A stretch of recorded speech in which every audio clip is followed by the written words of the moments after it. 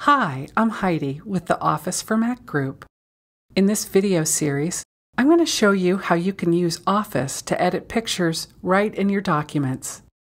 If you want to follow along, you can use the practice file that comes with this video.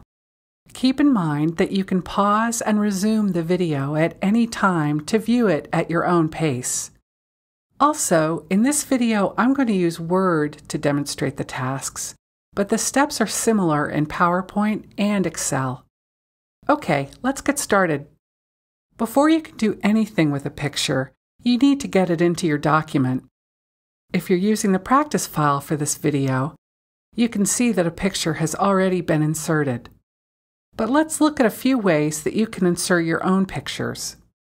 On the standard toolbar, click this button to open the media browser.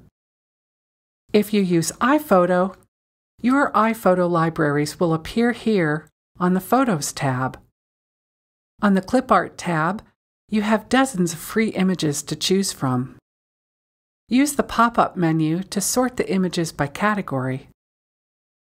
And to add one to your document, just drag it to where you want it to appear. For now, don't worry about how the image is sized or positioned. We'll look at how to change both in a later lesson.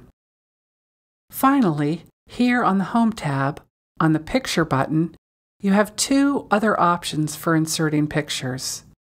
To select a picture from a folder on your computer, click Picture from File.